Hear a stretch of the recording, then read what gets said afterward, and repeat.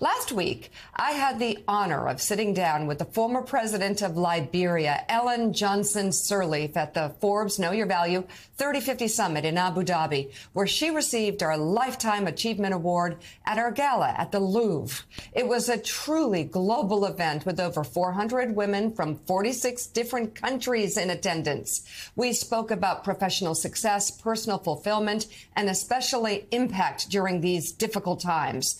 During my conversation with former President Sirleaf, the first democratically elected female head of state in Africa, I asked her about the state of women in leadership, particularly in the United States.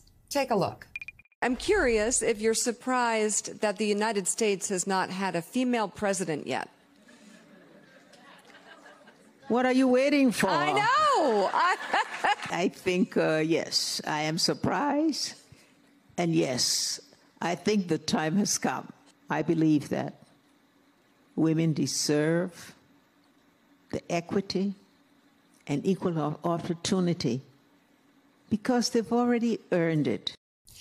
We'll be showing you much more from that interview in the days to come, along with the other conversations from our incredible lineup of speakers, including singer Shania Twain, personal finance expert Suze Orman, actress and activist Ivana Sukno, and much more. And don't forget to follow Know Your Value in our social media channels for additional coverage from the 3050 Summit. Morning Joe will be right back.